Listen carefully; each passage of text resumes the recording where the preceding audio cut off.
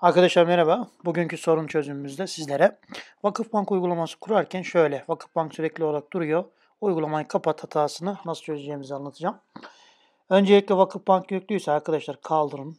Kaldırmadan önce Vakıfbank mobil bankacılığın içine girin. Detaylar kısmında bakın şuraya dikkat edeceksiniz.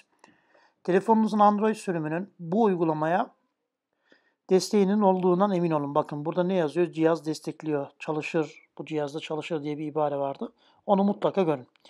Vakıfbank'ı kaldırdıktan sonra arkadaşlar uygulamayı tamamen kaldırın. Daha sonra ayarlar kısmına geleceksiniz. Burada yapmamız gereken bir ayar var. Bu ayara geçmeden önce bakıyorum şu anda yok. Onu şöyle yapacağız değerli arkadaşlar.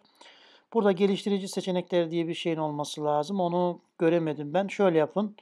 Geliştirici seçenekleri yok arkadaşlar. Geliştirici seçenekleri yoksa tablet hakkında, telefon hakkında kısmına gelin. En aşağıdaki yazılım bilgileri yazan yere tıklayın.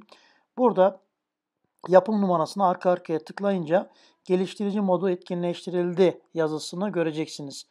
Geliştirici modu etkinleştirildi yazısını gördükten sonra ayarlara tekrar dönün bir geri menüye. Burada en alta geldiğinizde bir daha geri gelelim. En alta gelin bakın geliştirici seçenekleri yazıyor. Oraya girin. Burada USB hata ayıklama diye bir şey olacak. Bakın şurada USB hata ayıklama. Muhtemelen sizde açıktır bu. Bunu kapatın.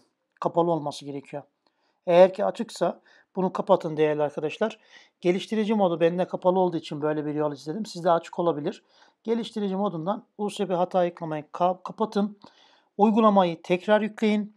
Güncellemesi var mı iyice emin olun. Yok ise direkt bakın bakın bak şimdi yükleyeceğim tekrar yükledikten sonra artık vakıf bankınız büyük bir ihtimal çalışacaktır arkadaşlar. USB hata ayıklamanın kapalı olması gerekiyor. Kolay gelsin.